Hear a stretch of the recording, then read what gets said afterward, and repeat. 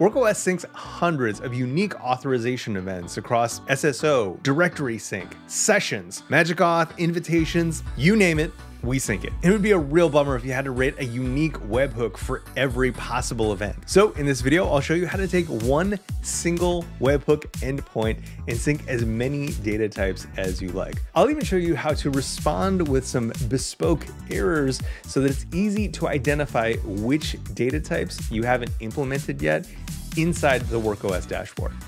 Let's get into it. On screen, we see the webhook endpoint that we have set up in the WorkOS dashboard. It's currently only sending one event, user created, but we can handle multiple events. Let's update this webhook to include some other user events, updated and deleted. Save. And now created, updated, and deleted events will be sent via this webhook. Let's jump into our handler code, a public function in our convex backend. If you'd like to see how we wrote this code, I'll have links in the cards above or the description below. A good place to start in handling additional requests is right after we've verified that the webhook is from WorkOS. We're gonna write a switch on the data event. Supermaven's helping us out real nice out here. Right now, our code only handles user created. And for every event that we receive but don't know how to handle, we'll throw an error. In this case, I want this error to send an object with a message unhandled event type and event data event. Now let's catch this error to present a reasonably helpful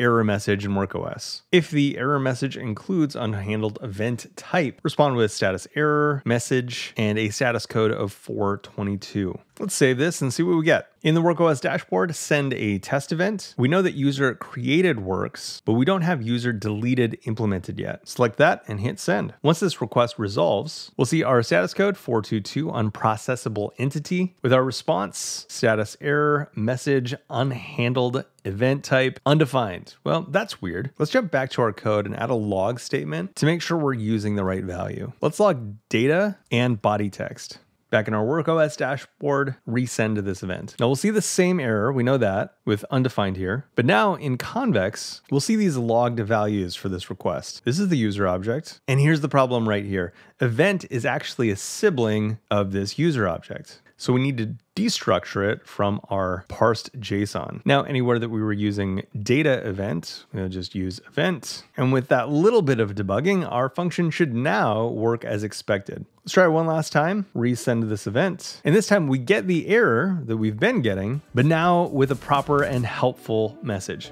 All right, so this endpoint is starting to look pretty legit, but we still have one thing that we need to tackle, and that's modeling data between your database and Authkit. So get subscribed, enable notifications so you can be the first to know when we launch that video. I'm Jentastic. I'll see you in the next one. Bye.